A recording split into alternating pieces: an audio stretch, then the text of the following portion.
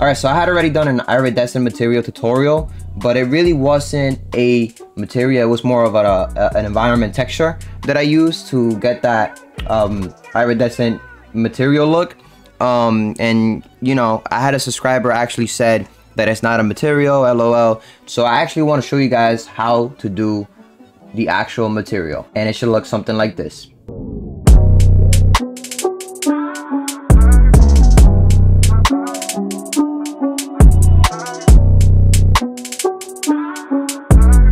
So that being said, let's jump into the tutorial really quick. It should be super straightforward and easy. We're gonna delete the defaults. We're gonna go to um, scalable vector graphics. We're gonna go to and find my uh, COS logo and uh, double click on that. We should have it right here, scale by 8, um, RX 90 to bring it up like so.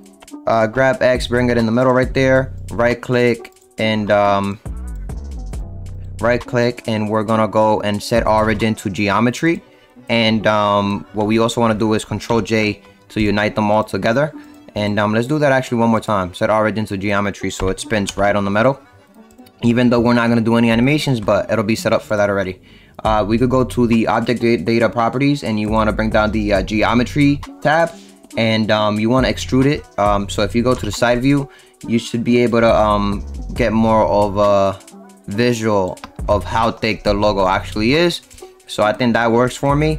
And um, you want to bring down the uh, bevel tab and you want to bring the depth maybe by 0.002 and you'll get something like this, right? So now that we have that really quick, you want to make sure you go to the render uh, uh, viewport and you want to go to the render properties. Make sure you're on Eevee. Turn on ambient occlusion, bloom, screen space, and motion blur really quick.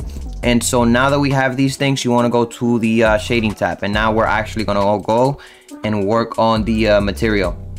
Also, another thing on the world properties, you want to go to uh, the color and turn it all the way to white. We want to have a white color. And I think this will look and work better for me. And so now that we have this, let's actually work on the uh, material. So you click on new and uh, we're going to call it iridescent, right?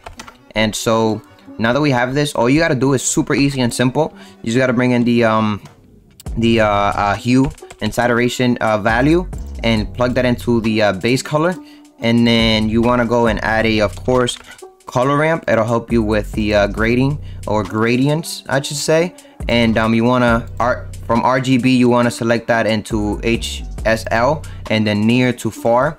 And you want to go and shift A and add a um, a uh, layer weight.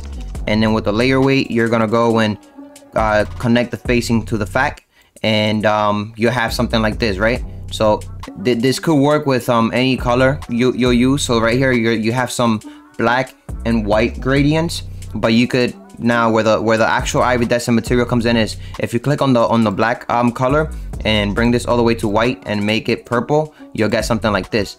Now keep in mind again you could play with these colors but if you want a full rainbow uh, looking color you want to go and and turn this one into um purple also and um you'll get this cool iridescent material thing going on.